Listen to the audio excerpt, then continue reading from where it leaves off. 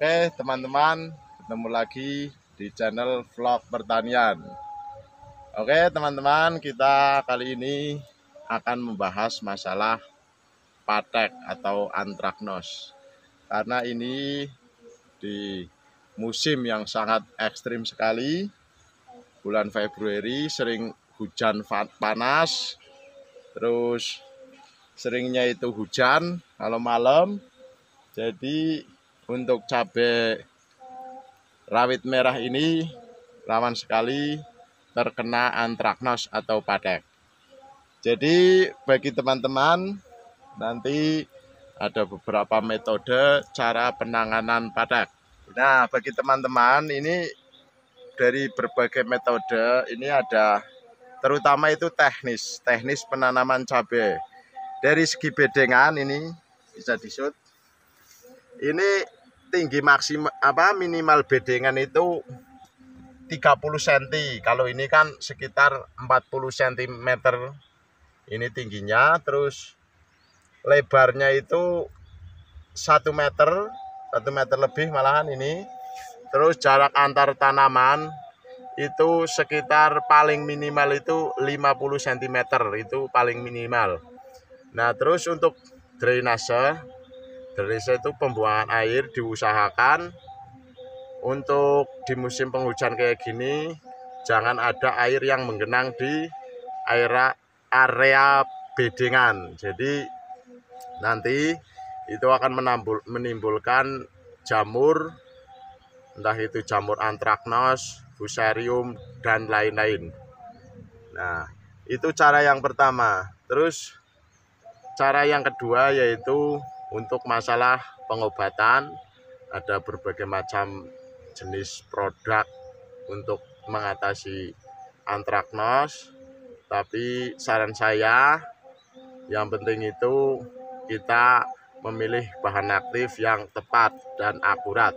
Karena aplikasi yang tepat untuk penanganan patek akan membuat kita tidak berulang kali melakukan penyepraian yang sama. Dan kemudian untuk fungisida, fungisidanya teman-teman bisa pakai bahan aktif yaitu difeconazole bisa, bisa Mistar Top, terus tandem itu bisa, itu sistemik, terus bisa juga pakai yang bahan aktif metalaksil itu ada rampat terus ada yang dari kapal terbang ada Star Mill terus ada juga dari sagribat yang berbahan aktif di metamorph sama azoxtrobin itu bagus untuk antraknos.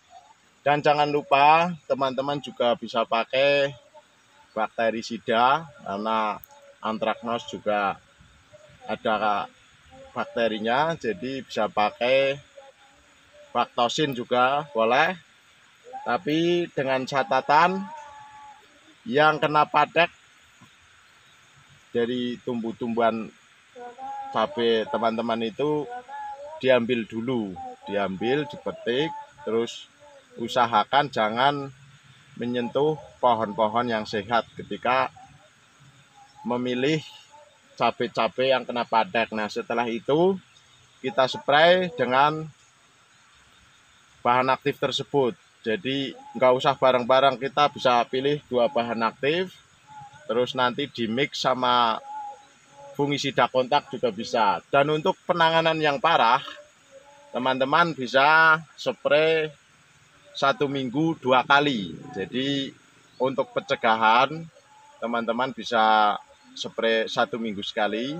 Nah untuk pengobatan teman-teman bisa aplikasikan dua kali dalam satu minggu. Setelah sembuh nanti kembali aplikasi awal yaitu satu minggu satu kali. Dan untuk fungisida kontaknya teman-teman bisa campur dengan bahan aktif mankozeb bisa apa saja asal mankozeb nggak apa-apa. Nanti sistemik dicampur dengan kontak sama pelekat. Nah oke teman-teman.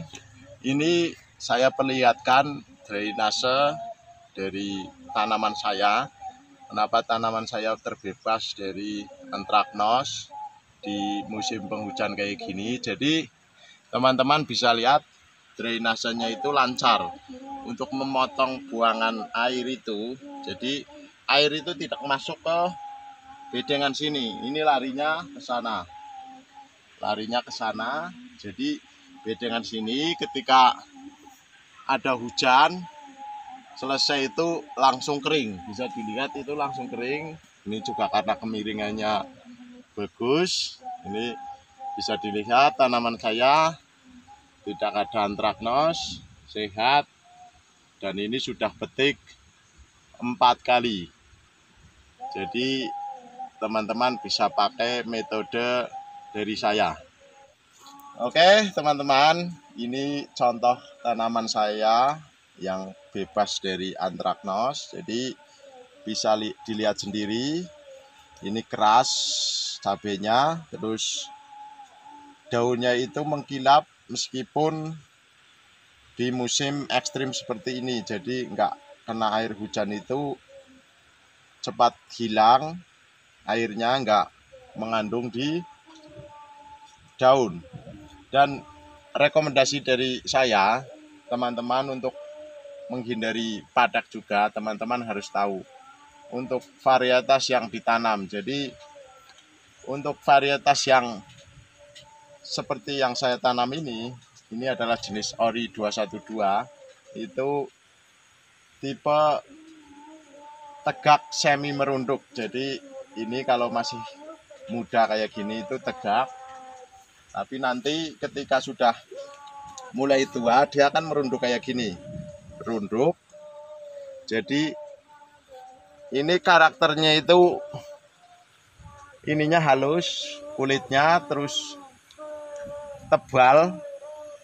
Tebal kulitnya juga jadi sangat tahan untuk kena antraknos. Jadi teman-teman saya sarankan untuk menanam yang varietas semi tegak merunduk.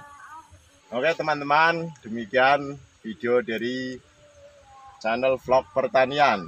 Semoga bermanfaat bagi teman-teman semua. Dan jangan lupa like, subscribe, dan komen. Terima kasih telah mengikuti video dari kami. Wassalamualaikum warahmatullahi wabarakatuh.